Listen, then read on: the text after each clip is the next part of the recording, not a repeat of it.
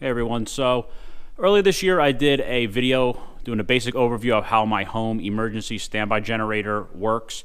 Now, with all the storms and craziness we've had in this country this year, a lot of people have been asking me to do a simulated power outage, basically showing how the system will work when it's uh, basically in automatic mode, but instead I'm just going to do it manually to simulate a power outage.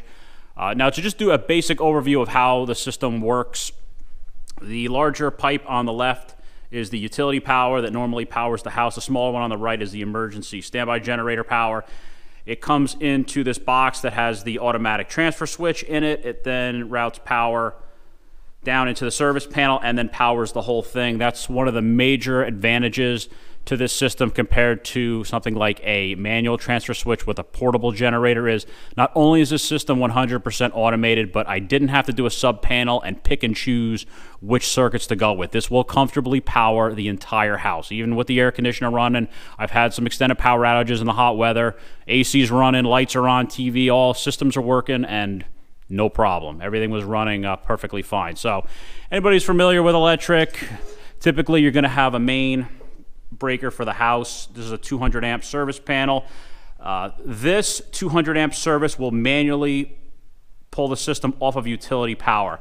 And when the automatic transfer switch detects that, it will then start the system to go to emergency backup, fire the generator, and repower the house again. So basically, the one in the service panel becomes redundant at that point.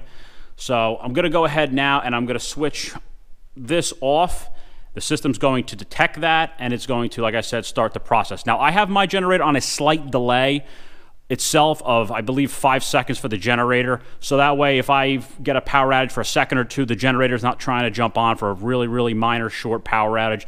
It waits a second. And then on the opposite side of that, I have the same thing. The generator stays running for an additional three minutes after power comes back on. And if the generator's been running for a while and it's up to full temperature, it runs a cool down cycle where it brings the RPMs down slowly instead of just turning it off. Now, when I do the simulation, it's probably not going to do a cool down cycle because it's only going to run for a minute or two. It's probably just going to go for the standard three minutes and then turn off again, just in case uh, the power, the linemen are working, the, the electricity is coming on and off and on and off. It's not going to try to keep firing the generator uh, on and off again. It's just going to wait till power's probably on long enough where it's not going to go back out again. So let's go ahead and turn power off to the entire house.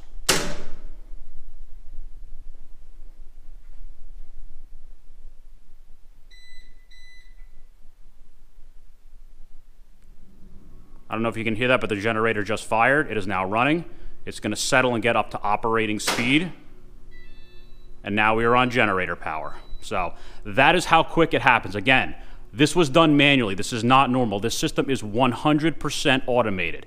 The only time you ever need to do this is something like this to test the system. If you wanted to do a manual load test, which they recommend doing once or twice a year to put actual load on the generator instead of just running like a weekly cycle. So some of the electronics in the house are starting to beep and make noise because they're just coming on and off again. But we are on generator power. And I'll walk a little closer to the window. You might be able to hear it. The generator is actually pretty quiet for a 20 kW system. And uh, that's it. So if I'm home, or not home and the power goes out, this does it completely on its own.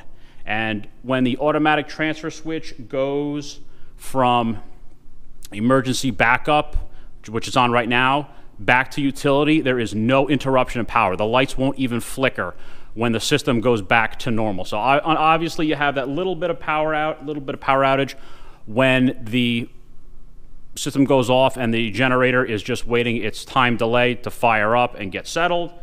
And then I also get the push notifications to my phone that the generator is running. So that's basically how the system works.